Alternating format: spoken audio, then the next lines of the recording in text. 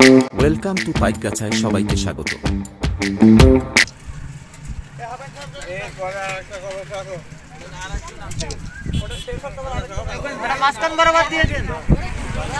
আপনারা কেউ ইয়ে করেন না আস্তে আস্তে এক এক কলস করে নেন।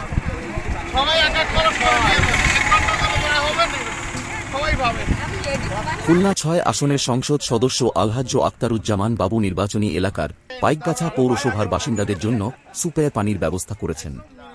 তিনি ব্যক্তিগত উদ্যোগে পৌর বাজারের দলীয় কার্যালয়ের পাশে এবং শিববাটিস্থ নিজ বাড়ির পাশে দুটি পানির প্লান স্থাপন করেছেন। দুটি প্লান থেকে প্রতিদিন এলাকার মানুষ কমপক্ষে দেড় হাজার লিটার সুপে ও নিরাপদ পানি সংগ্রহ করতে পারবেন।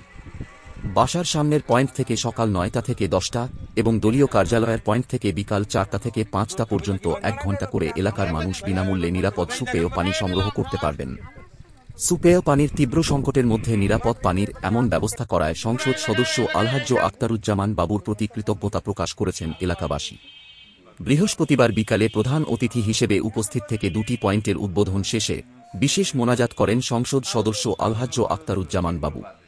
এ সময় উপস্থিত ছিলেন উপজেলা চেয়ারম্যান আনোয়ার ইকবাল মন্টু, মেয়র সেলিম জাহাঙ্গীর, উপজেলা ভাইস চেয়ারম্যান শিয়াবুদ্দিন ফিরোজ বুলু, সহকারী অধ্যাপক Moynul Islam, panel mayor Sheikh Mahbubar Rahman Ranju, councillor Abdul Gaffar Moral Jubo League নেতা এম এম আজিজুল হাকিম আকরামুল ইসলাম, শেখ রাজু আহমেদ, শফিকুল ইসলাম মৌল, জুলি শেখ, দীপঙ্কর মণ্ডল, ছাত্রলীগ নেতা রায়হান পারভেজ রনি, রমজান সর্দার, রাশিদুজ্জামান রাসেল ও মাজাহারুল ইসলাম মিথুন।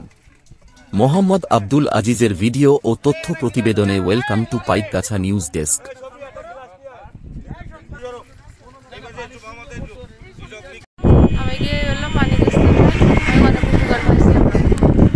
MP সবাইকে পানি দিচ্ছে, আমরা অনেক উপকার পাইছি।